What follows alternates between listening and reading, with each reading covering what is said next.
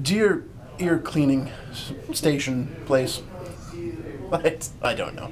I'm getting my ears washed out Good. by lovely people who don't want to be on camera. That's No. okay. And we're gonna go ahead and clean it right now. And apparently it's gonna be very loud, and they're gonna spray water in my ear, and they're Yeah. gonna take all the junk out.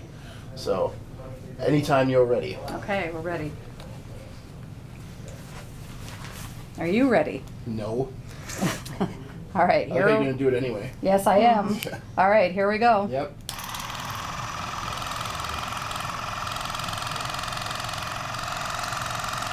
Ooh, ooh. Now I hear bubbles. Yep. Just gonna have a peek. Okay. Tell me if there's blood. You shouldn't be any. blood. Well, it's pretty far down in here. That's- I know it's weird. It's just like a Now you're there's feeling bubbles in my ear. So how often do people do this?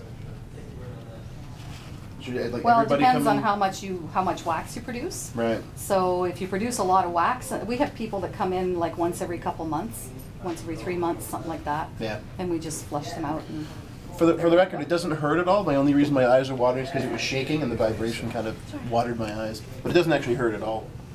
It's just loud. Compacted wax? Is he being a wimp? No. What? No. Not so Who are you? I'm the boss. Oh, hey, boss. How are How are you? you? I'm Jimmy. Hi, Jimmy. Usually big guys are the are the biggest wimps in here, Jimmy. No, it was just the, the shaking had my, my I was I was thinking of people, you know, sadness. You know, it's just it's how it works. He was sad to lose his friends. Yeah, you know, just okay. whatever. He's sad to lose the wax in his ears. Yeah, it was. Oh, They were. They've been there for Oh, so long, apparently. It's fam- yeah. So- Is to it- be is it- filmed. Is it impacted? Sorry, it is. It's uh, the, it's very close to the eardrum. Okay. So I, you know, I think you're going to have to oil it up. So it's, I'm it's, not sure it's, how it's much is years out. of, of, of just throwing Q-tips in there and just packing it Well, down. yeah, you're packing it down. That's what you're doing. So anybody who uses Q-tips on a daily basis should not a good idea. Should not. should not should not do that No. and should get this thingy done. Nothing Yes. smaller than your get elbow goes in your the ear. gunk out. So do that and clap your thumbs if you believe. Chorus smash.